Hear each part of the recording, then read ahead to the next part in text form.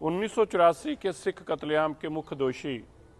Jagdish Tytler आज भी कांग्रेस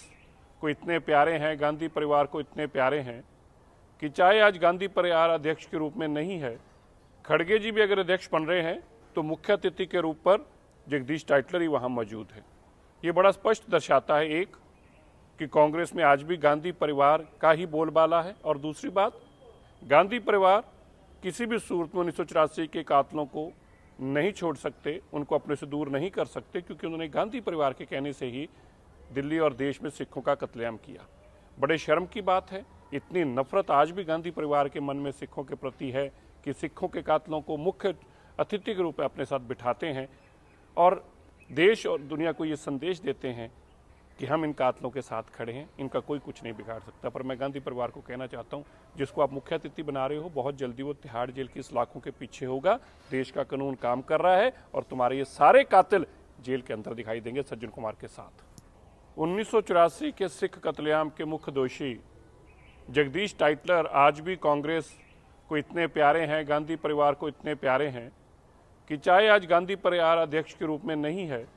खड़गे जी भी अगर अध्यक्ष बन रहे हैं तो मुख्य अतिथि के रूप पर जगदीश टाइटलर ही वहाँ मौजूद है।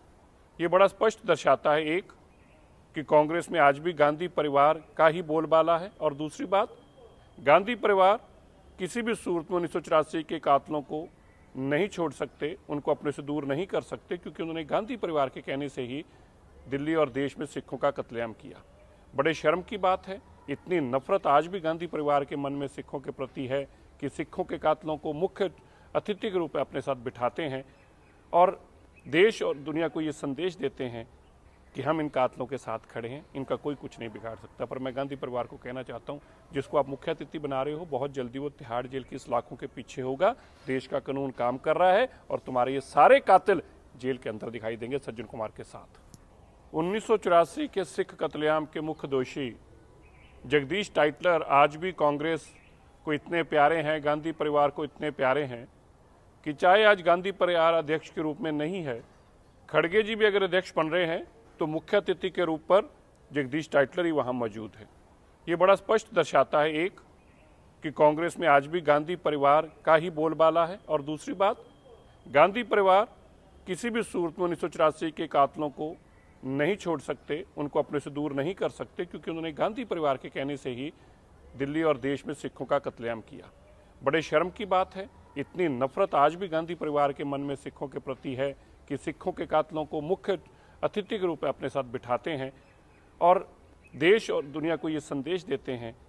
कि हम इन कातलों के साथ खड़े हैं, इनका कोई कुछ नहीं बिगाड़ सकता। पर मैं गांधी परिवार को कहना चाहता हूँ, जिसको आप मुख्य अतिथि बना रहे हो, बहुत जल्दी वो तिहाड़ जेल की सलाखों के पीछे होगा। देश का कानून काम कर रहा है और तुम्हारे ये सारे कातिल जेल के अंदर दिखाई देंगे सज्जन कुमार के साथ।